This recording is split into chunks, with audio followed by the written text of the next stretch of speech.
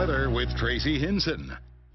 Good morning, everyone. The radar is dry for now, but this is certainly going to change over the week. But what we are seeing this morning is a lot of clouds out there. From the satellite view, you can see them moving in. This is due to a lot of moisture in the atmosphere. So take a look at the satellite loop. This is what's going to help feed our system that we're bringing in on Thursday. The whiter it is, the more moisture there is in the atmosphere, and you can see that subtropical moisture plume, and it is pointing right at us.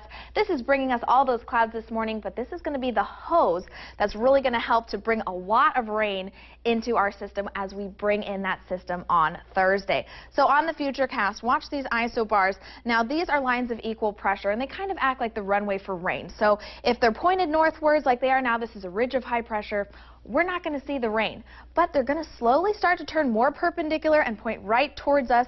Monday, we have a slight chance for a shower. Notice we are barely in the blue. Maybe Santa Cruz will get a little shower. If we get any rain, it won't be very much. But not the case for the system coming in on Wednesday.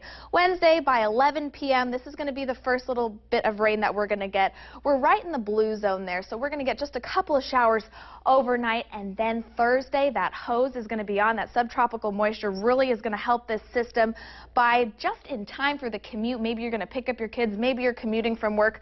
3 p.m. on Thursday, heavy rain. Now, it's still only Sunday, so we do have some time for this forecast to change a bit.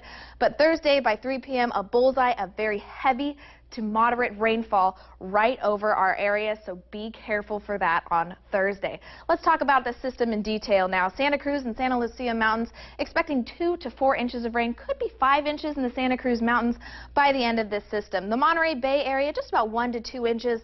Some minor flooding is to be expected as well as some strong to gusty winds and this is usually the troublemaker of these systems. It knocks down power poles, trees, makes the roadways a mess. So gusty winds possible up to 50 miles per hour.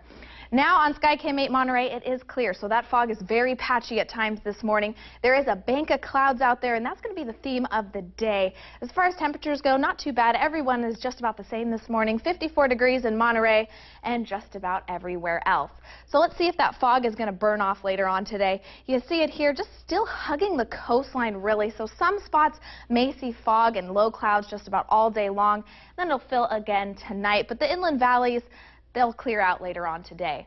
As far as temperatures go, mid-60s along the peninsula here, 65 in Monterey, 66 in Santa Cruz, 63 in Ben Lomond. And it'll be partly sunny skies today in the valleys.